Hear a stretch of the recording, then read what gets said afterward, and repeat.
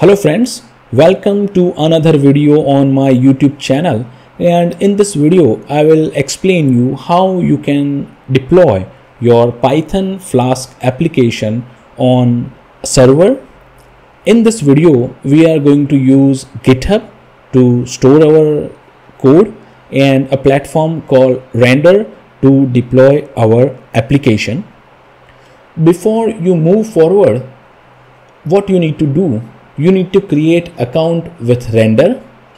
Once you create an account render will send an verification email on the email that you have used to create the account. You need to verify your account and email.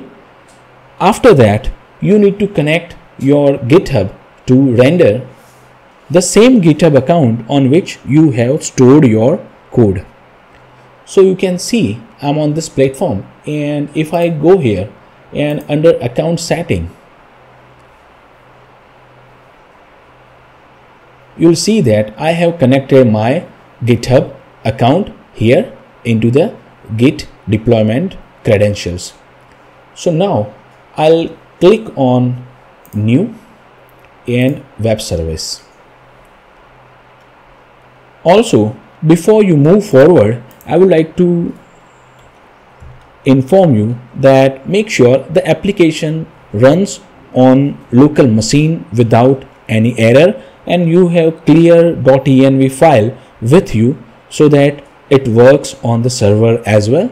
Make sure you have your command uvicorn locally we will use this kind of command. That means in this file i have a variable called app which holds the fast API application.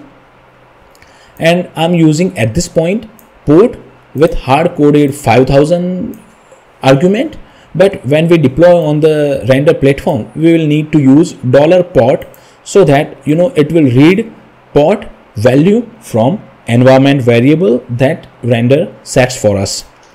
So now i'm here on the platform and you know i'll select the repository that i want to deploy.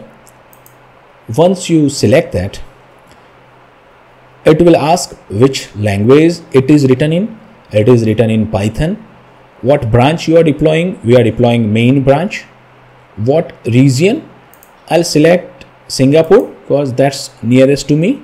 What is the root directory of this application? If you have you know uh, multiple application let's say front end and back end in the same code base you should select the backend directory as your root directory for this deployment. What kind of uh, build command you are using? We are using pip to install all the dependencies. And finally we are using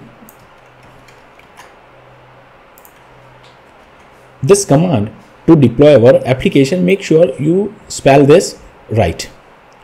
Then what kind of instance you want to choose? I want to choose free instance. In the down section, there is environment section where you can write your environment variables. There are two ways. Either you, you know, write environment variables one by one or you can click add from .env and copy all of your environment variables just paste them in it add variables it will you know uh, render them but make sure you check all of them sometimes it can be error.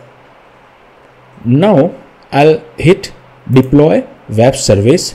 Now grab a cup of coffee and wait until it deploys.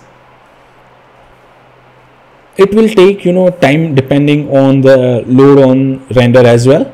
So I'll resume the video once it is deployed.